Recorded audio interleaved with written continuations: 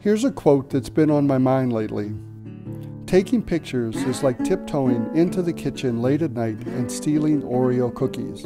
Diane Arbus. My preference is always to ask strangers for permission to photograph them, but sometimes it isn't possible, like this photograph of three tourists and a driver flying by in a vintage pink car on the Prado in Havana. Legally, there is no privacy protection in public, but most people would be quite surprised to discover their picture in a show, in a book, or on a website.